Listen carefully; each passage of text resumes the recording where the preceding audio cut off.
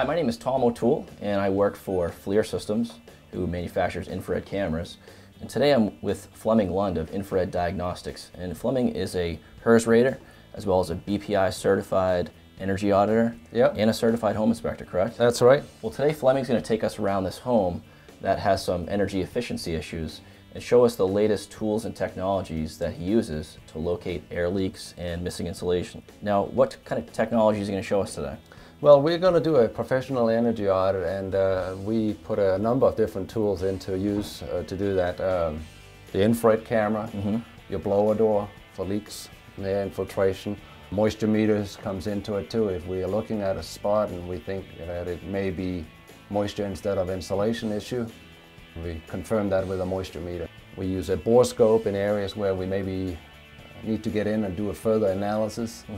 Um, and then we usually finish it off with a safety test using uh, gas leak detection on the heating uh, appliances, as well as uh, carbon monoxide uh, safety test. So this is more than just a standard visual Oh, inspection. Yeah. This is actually a very in-depth energy audit. And our goal is to, to get all the information put together in a report that the customer can really sit down and figure out which steps should I take To fix the problem. To fix the problem, and really to get forward and uh, get it done right. Great. Well, let's take a look around.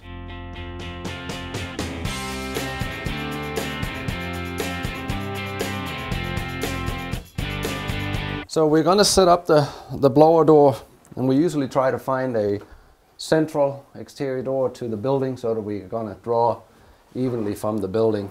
A blower door is essentially made up of a couple things, right? You've got the fan. Yeah, we got a, a huge fan that'll move about 6,000 cubic feet of air per minute.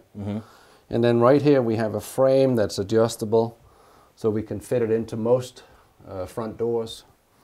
And then we have a shroud, shrouded canvas that goes over it to create the seal. And the, the main part of it is the uh, uh, manometer to show us a pressure difference in the building. And then we're going to hook up a computer to it that's going to help us capture the data and do some graphs and some calculations on it. Okay, so you can take things like the infrared pictures and the visual pictures, as well as the information from the computer, and actually put in a report for the customer. Exa- exactly. Okay. And, and one of the nice features with this is that a lot of customers will ask me to come back after they've done all the repairs. And now we had maybe uh, 2,500 CFM of air leakage in the building. I come back half a year later and they've dropped it down to 1,500. And What's can- CFM? Uh, cubic feet of air per minute, sorry. Okay, that's all right. So that's the uh, that's what the uh, blower door is going to measure for us, and by having that data uh, uh, pre installation, pre air sealing, and then post, we can really confirm that the improvements uh, have taken place. And then if the insulation contractor missed a little spot or whatever, we can uh, locate that and uh, things it can be. Yeah. yeah. We just calibrated the fan to uh, compensate for the uh, pressure difference between inside and outside. And then the blower door here has a couple of different rings on it um, to make it fit all the different kind of house styles that we're going to see. How leaky are the house? How big of the opening do we want in the fan? So right now here, I'm just going to guess that we need the full opening. okay. So that's how we'll start it out. And the program is ready. And this particular computer program is just going to take over running the blower door. It's going to do uh, 100 readings at 50 Pascal. That's the building pressure that we are calibrated to. And then it's going to do 100 readings at um, 45 Pascal, 40 Pascal, and so on, the whole way down to uh, 10 Pascal. Okay. And what it's reading is the cubic feet of air leakage in the building. So it's, it's measuring how big are the holes in the house, how much air can I pull at that given pressure level. And of course, that's, that's everything about air sealing and energy conservation. If we have big holes in the house, we can pull more air, we're wasting more energy. Okay. So let's start it up, and it'll slowly crank itself up there. Okay. So while we uh, guess, get the home depressurized, is that the right term? exactly, yeah. Um, why don't we take a couple minutes? Uh, you could show me some of the other uh, test and measurement tools you use to troubleshoot different areas of the home.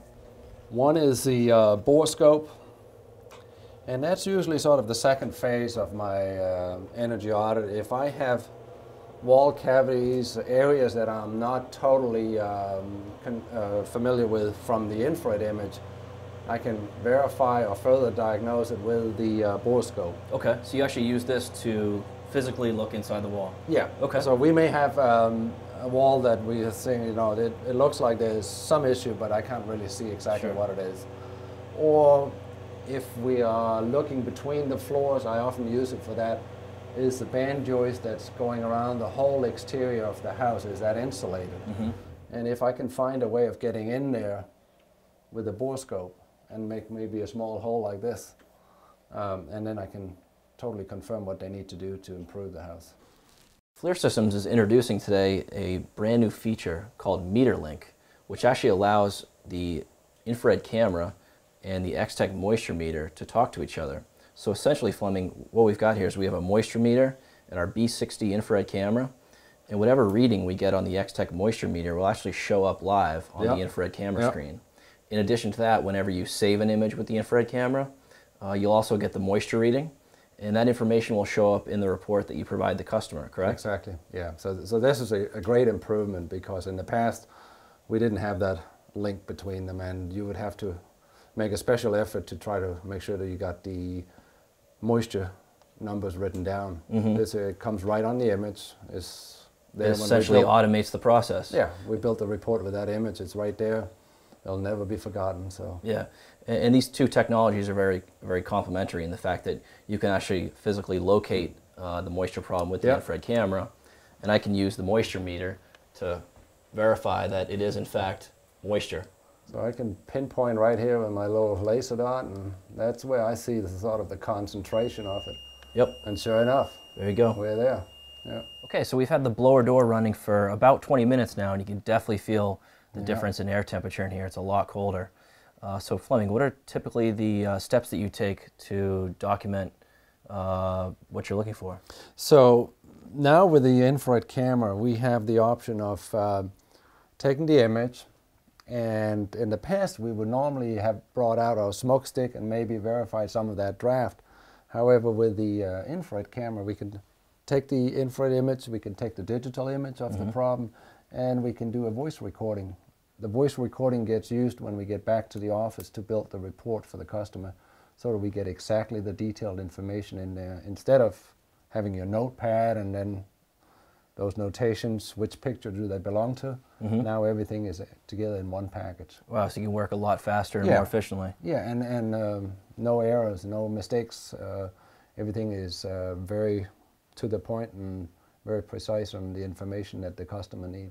Okay, well, I, th- I know that we uh, found some air infiltration in one of these canned lights here, so I know you want to take a minute to uh, document your images um, as well as uh, any type of uh, notation.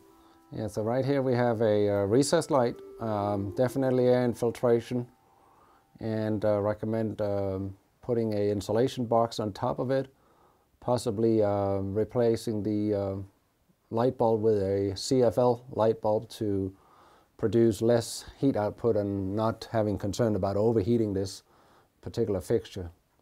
Um, and uh, that's usually the, the recommended if you can get to the backside of it with a, a insulation box. Otherwise, uh, replacing uh, recessed light fixtures with um, surface mounted fixtures is, is a good option too, but it's a little more involved and not everybody want to go that way.